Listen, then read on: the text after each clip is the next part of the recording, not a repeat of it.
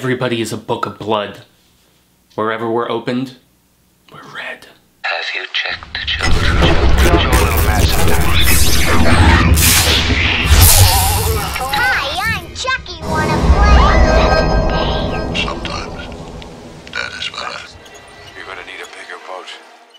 Bienvenidos, worldwide fright fans and hellacious hedonistic heathens. Jaime En Fuego here for the horror show and returning once again for the third installment of my monthly series, Barker at the Moon.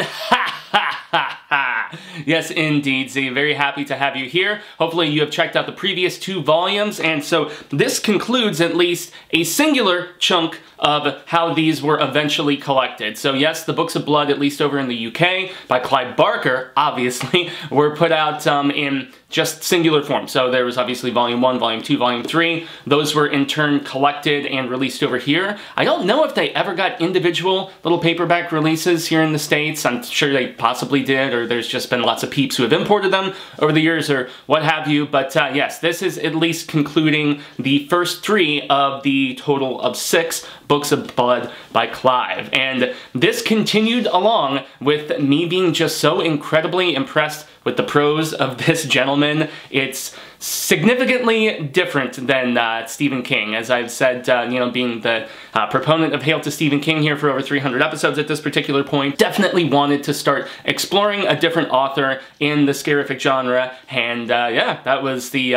inception behind the creation of Barker at the Moon. I'm still debating if I'm going to take a little break and then go to 4 through 6, or maybe I'll segue into, you know, maybe one of his novels like Damnation Game, because I have not really read a lot of Clive. I mean, Scarlet Gospels, but that was specifically because of the fact that there was the, you know, Lord of Illusions and Hellraiser connection, but aside from that, I have not delved into a lot of books that by fright friends of mine have been highly recommended, and so uh, let's get into it, but the one thing that is going to be a little bit different is I have decided to go in uh, backwards order, backwards order uh, through these stories specifically because of the fact that uh, my absolute favorite one is the first one that is presented in this volume and it's the one that I have the most passages marked down that I want to take note of. It's a celebration of cinema. It's a amazing story. One of the best things that I think I've ever read from Clive Barker. It shows his twistedness, it shows his creativity, and the fact that I'd never read anything like Son of Celluloid before. So I'm going to go in the reverse order this particular time, and I'm going to start out by discussing Human Remains, which I just finished reading,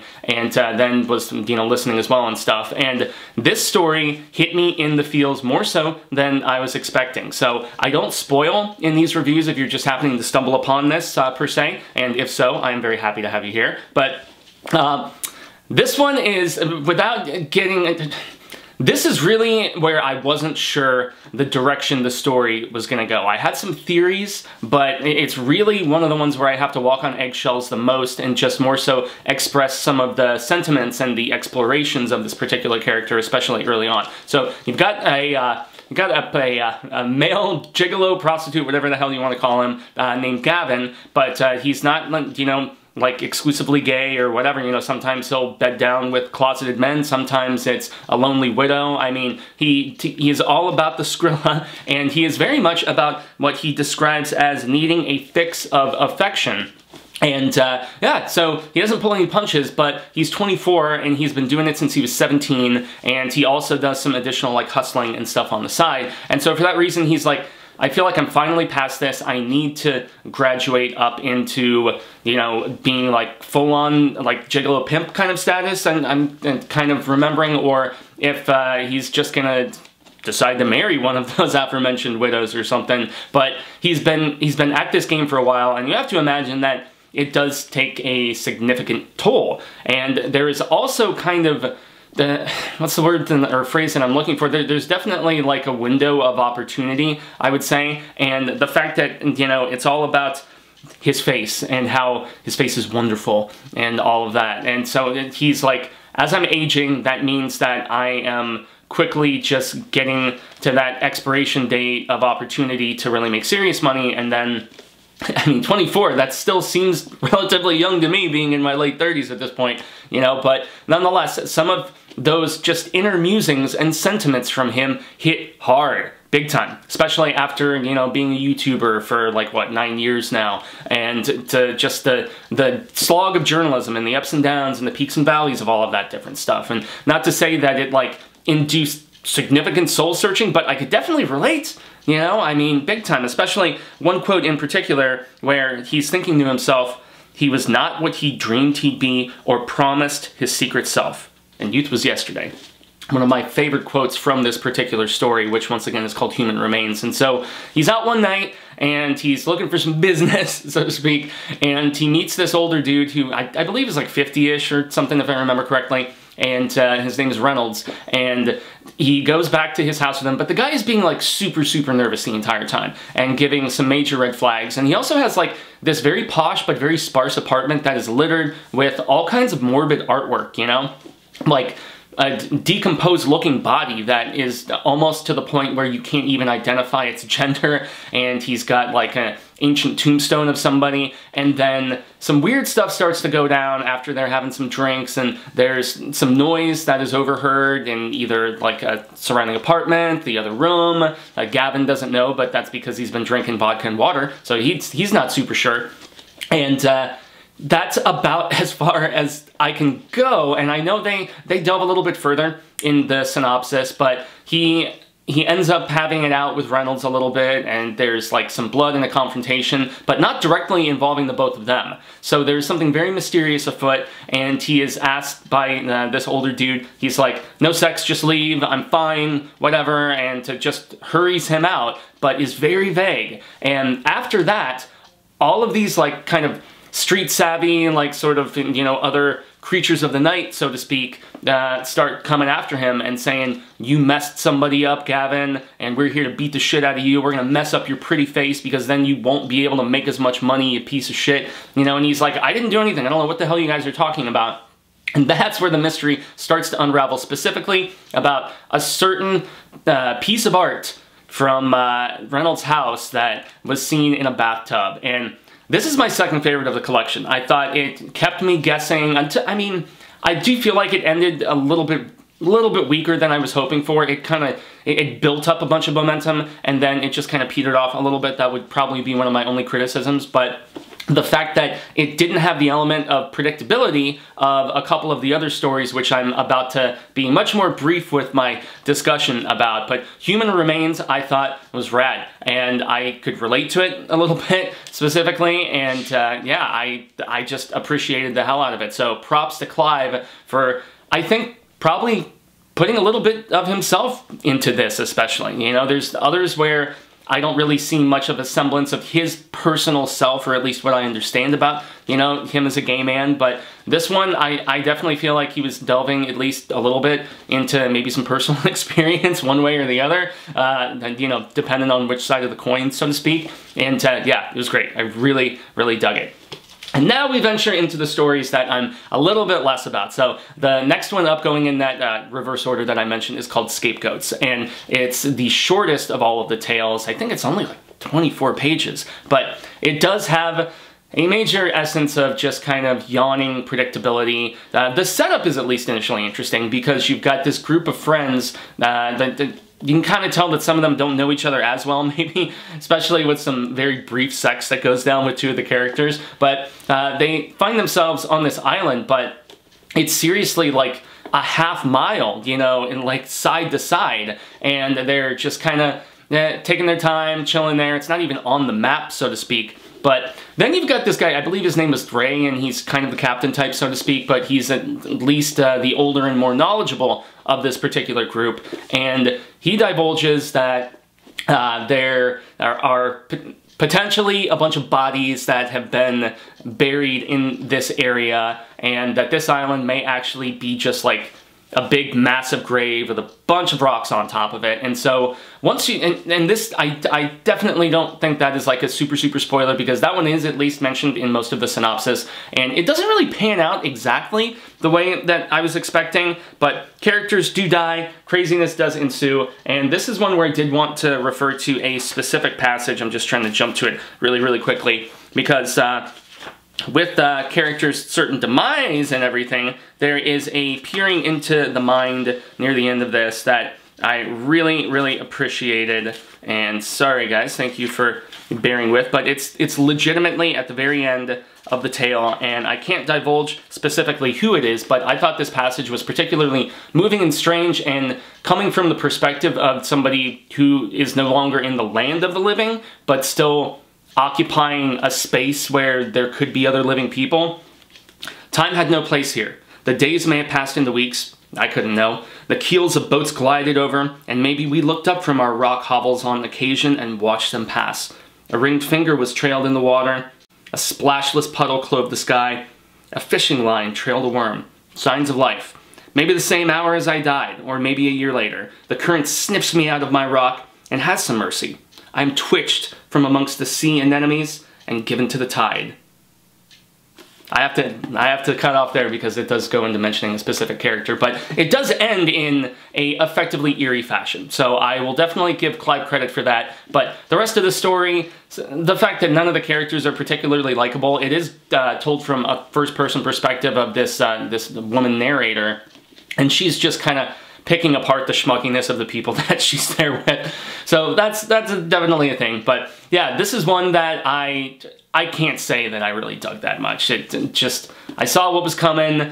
It didn't really bring as much of it. Like the prose, as you just heard, terrific. But as far as the actual plotting, that's where I was just a little bit more on the yawn status of things. So we're one for one so far, guys, and there's still three more to go. And the next one is entitled Confessions of, it's got the funniest title, uh, Confessions of a Pornographer's Shroud. And yet there is, uh, there's emphasis on the pornographer part, and uh, it's, uh, it's because of the fact that this is about an accountant who has no idea about the people he is keeping the books for, and lo and behold, turns out they are peddlers and, and, like he's worked for them for like years, if I recall the tale specifically correctly. And he suddenly finds out that they're peddling not just porn, but we're talking like close to eight millimeter sort of shit. You know, I mean, it's as close to snuff sort of stuff as you could think of, like really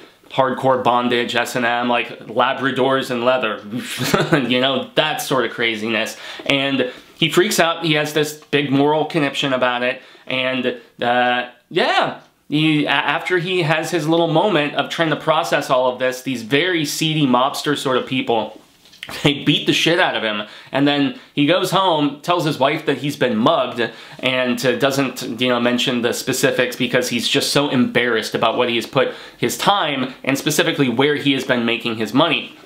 And you know what happens? They turn it around on him and leak a story to the press that this guy is the peddler of all of this really hardcore porn.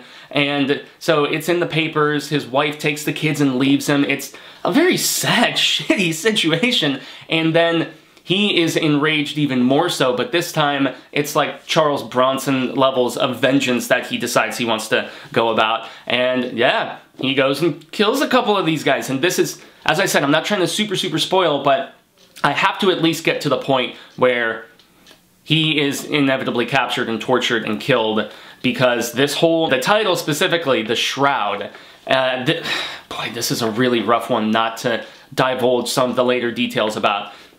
This guy basically, somehow when he's on the, uh, the autopsy table, he puts his spirit into the shroud, you know, the cloth that is on top of his body. And then said cloth proceeds to go out and continue extracting said vengeance that was not able to be completed. I know it's trying to be black comedy, okay? I know it's entertaining in that regard, but I, I just really struggled to get over the silliness of the concept in a lot of ways. And uh, yeah, that's about where I was at with Confessions of a Pornographer's Shroud. What a title. Uh, funny, I, it was one that, uh, it's, it's one of the shorter ones. It's only like 31 pages, but I don't know. I did find the silliness of the situation where they're like talking about a clan member and it looks like some, like, I don't know, little daughter of the mobster thinking she sees like a ghost and yeah, it is a ghost. It's a ghost going around. It's yeah, like ghosts with just a sheet on top of them. That is what we're dealing with here. So, also, I'm not always super into like the mobster stuff anyway, and so Clive Barker taking a stab at it and the kind of goofiness of it all. I don't know. This one, too uh, straight, unfortunately, uh, going in this reverse order. That did not work for me the way that I was hoping that they would. However, the next story is probably the most well-known, and it's as badass as uh, anybody who is familiar with the mythology uh, could imagine. So it's called Rawhead Rex, and this is the only one of these uh, five stories that's actually been adapted into something. So I have to consult the notes specifically here for this one, because uh, this was a film by a, uh, I believe, Irish director, if I'm not mistaken, George Pavlou. And so this is a guy that uh, when he was adapting Rawhead Rex, literally the next year after uh, this collection came out in the UK, what, uh, August 85? God, I can't remember. I know it was 1985, but uh, I'm assuming that Clive already had some clout. And he definitely did with George because of the fact that they had done a movie just the previous year, which was called Transmutations, if I remember correctly. Uh, it came out here it came out here in the US as Transmutations, but I believe the original title was Underworld. So I have never seen that film. I've heard it's bad. I want to track it down though. So in 1985, George Pavlou did that film with Clive Barker. It was an original screenplay that he wrote. And then the following year in 1986, that was where Clive adapted his own short story for Rawhead Rex. So I would really like to do a proper revisiting of the, the Rex film because of the fact that I haven't watched it in a very long time. What I do remember, unfortunately, is the fact that the creature looked very silly, the effects were hmm, kind of iffy, and uh, but low budget, so in, in 1986, you know, you, you do what you gotta do, but uh, I know that Clive even disowned it at one particular point, but despite the simplicity of the story, it's still very stellar execution, at least on the printed form, and that's because of the fact that you at least get the inner pathos of this like nine plus foot I, like creature of sorts, like kind of giant human, but it's got the ability to like just chomp on people. And they, I, I, so, okay. There's also some interesting discussion before I forget about uh, just, I guess, gentrification even a little bit in the fact that uh, it's uh, like the story starts out with Clive kind of denouncing the fact that these yuppie-ish sort of rich people, they want this authentic like countryside sort of experience. And so they're willing to, if they can, you know, get the people of this community to give in and sell like some acres of land, to relocate and how kind of the that old worldly charm of this sort of rural area is being lost because of all the people from the city relocating. And uh, one of the guys who lives there uh, accidentally, while he's doing some yard work, unearths the tomb of the Rawhead Rex. And this, this tale goes all the way back to uh, 1548 from what I was researching. And so yeah, it's just kind of a folk tale that they used to use to scare kids. They talk about, you know, Bloody Bones, you know, Bloody Bones, Rawhead Rex, you know, Tommy Rawhead, and there's various names. I guess it probably evolved over the years, so to speak. So that's where Clive derived the inspiration here. And in, in the storytelling standpoint, it, despite being relatively simple, it does get into some religious stuff and, you know, delves a little bit into the history of said creature. But the carnage, much more so than in the feature film, is it's much more amped up. And, you know, obviously the short story came before, but if Clive had a movie already getting ready to go right into production that he was scripting, I mean, hey, what have you. But, um, yeah, once said creature is awakened and it's like wanting to eat children and everything, and of which it does, it bites the head off of this kid, and the father of that kid ends up being one of the major forces, you know, uh, without getting too specific, about uh, a ending that I was surprised about it being a little sunnier, or at least more fulfilling, like vanquishing of something evil than I was anticipating. And, you know, a lot of the short stories, whether, you know, King or Clive or whoever that I've read, uh, they do tend to have more of the EC Comics, you know, Tales from the Crypt, Twilight Zone, whatever. Like, they go for a twist ending, and they go for a gut punch sort of situation. And this is one I guess that is kind of a spoiler to say, I was surprised about how it uh, was a little bit more good guys win sort of situation, but a lot of casualties along the way. So uh, I will probably be talking much more extensively about this story when we have the opportunity to actually review the Rawhead Rex film. And I know Robert Duell is a big fan of this particular short story and is much more familiarized with it than me. This is my first time reading it actually. So that will be cool to, uh, yeah, maybe just do a reread of the short and then, uh, you know, reviewing of the film and do just uh, a, a difference counter sort of situation. But now we have my favorite story of the uh, third Books of Blood. And as I mentioned earlier, it's called Son of Celluloid, and I love this story. It's slimy, it's strange, it is legit like nothing that I have ever read before, and it's it's definitely gonna be a tough one not to get super, super spoilery with. But first and foremost, the, the framing of this story, the fact that it's in three different parts, and Clive starts it out, he has part one, the trailer, and then he has part two, the main feature. And then he has part three, I believe it's called the censored scenes. And so this story is 100% in every possible capacity for me a celebration of cinema. And as somebody who adores more so than anything the theatrical experience and like an old grimy theater is where the predominance of this story takes place that's where the main feature is but so setup wise you've got a escaped convict who is uh, mortally wounded and uh, he has the cops on his ass after escaping and he's trying to find somewhere to haul up and you know lay low at least for a little bit and he ends up in this small little like storage spacey sort of area but it's really behind the screen of the theater. And the other bit is that he had uh, cancerous tumor like growing in his body. He thought it was just like a weird bellyache or something. But no, there is much more afoot, significant more. And uh, so he ends up dying, and then we fast forward to uh, workers of the theater. So they're getting ready to close up one night. It's like after three in the morning, and then there's two uh, two patrons left. And so one is a 17 year old girl, and she's like yeah, my boyfriend disappeared and I'm not sure uh, where he is because he said he was going to the bathroom and, you know, I'm not going in the men's bathroom, so, you know, can, can we investigate? Like, what the hell? sort of thing. But uh, yeah, another thing that I have to mention is the dude who, when he is escaping at the very beginning, uh, Barberio, I believe his name is, that he talks at one point about what his idea of God is. And his idea of God he refers to as Sing Sing for whatever reason, and it's like a heavy-set dude like with dark coffee or something, I don't know. Very, very funny in just the fact that he's like, yeah, that's the idea of God that I have that would protect, you know, a nasty individual like myself. So, so that's funny. But, uh, okay, yes, there is a passage in the second paragraph. I should just have this like right here, just to be certain about it. But, um, okay, 327. Thanks for bearing with, guys. We're losing ratings, we're losing ratings. But it's, yeah, that's right. It's at the very beginning. This is a sentiment from our escaped convict in the first part, and I thought it was great. Life was too long if you were locked away and counting it in seconds. It had only taken him a couple of months to learn that lesson. Life was long and repetitive and debilitating. And if you weren't careful, you were soon thinking it would be better to die than go on existing in the shithole they put you in.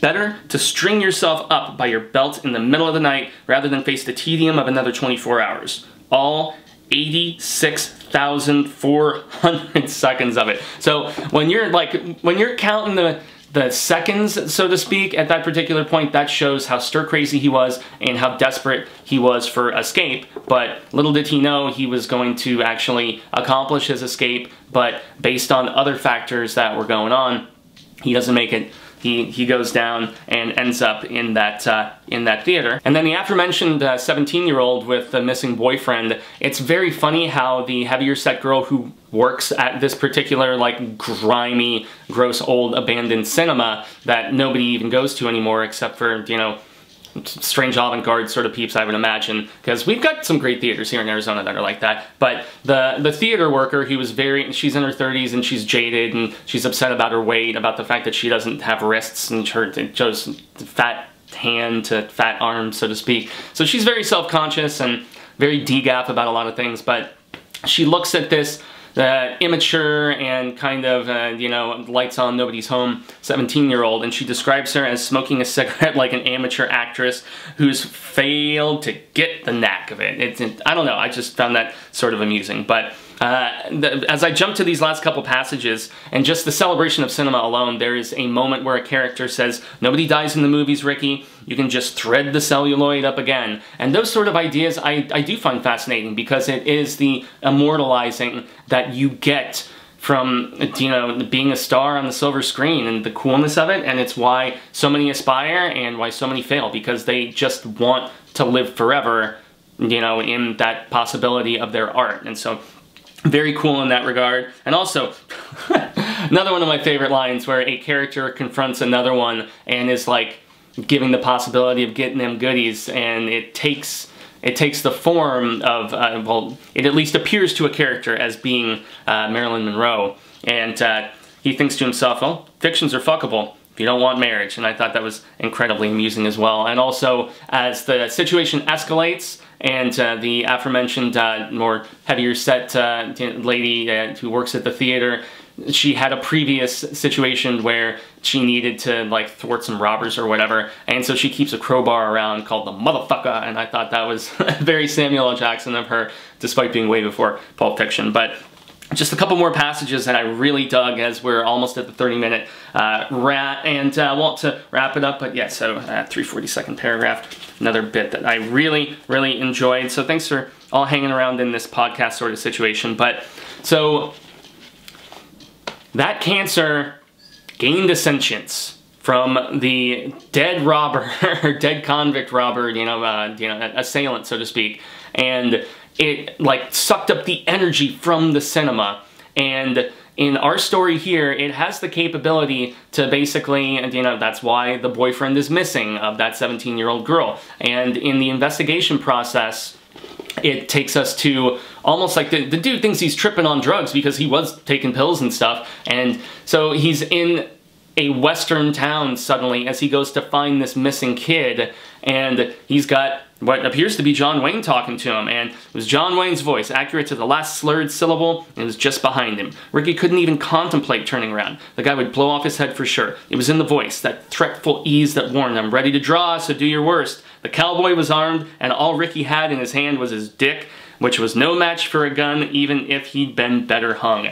That is the, the sleaze of Clive Barker that I find so amusing from a humorous standpoint, because, you know, the older guy who runs the theater with the, the, the older woman that I mentioned, he's the one investigating in the men's bathroom and so he goes in to take a piss and he's suddenly in the Wild West and he's there with his dick out and he has like a fake version of John Wayne coming to to kill him essentially. And so the, the this is where I, I have to ease back because of the fact that I'm already you know, a little bit further into the main feature so to speak but I, I dug where the story went and how it pushes one character who is relatively complacent early on to really rise to the occasion and then as as that is happening near the end of the tale uh, the last bit that I wanted to read here uh, where the hell is it? Okay, th uh, 356. I know I've been, I, like, I purposefully have been sticking to this paperback version because I also have a different copy.